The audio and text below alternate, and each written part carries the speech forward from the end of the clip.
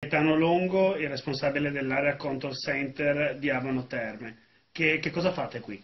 Eh, qui ad Avano Terme il servizio, forniamo il servizio di controllo del traffico per eh, tutti i voli che atterrano e decollano dai aeroporti di competenza del centro e anche per tutti i voli che sorvolano il nord-est d'Italia.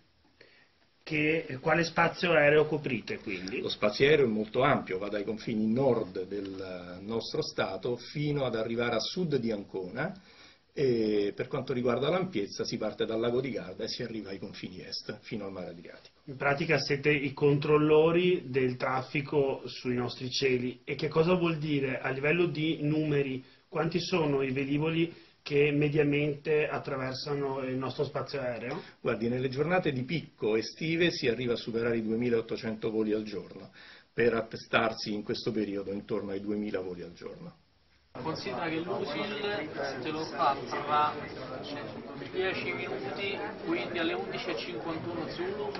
Ma il clima via l'USIL, Lima, Uniform, Sierra, India, Lima. Cosa? Già chiamato come...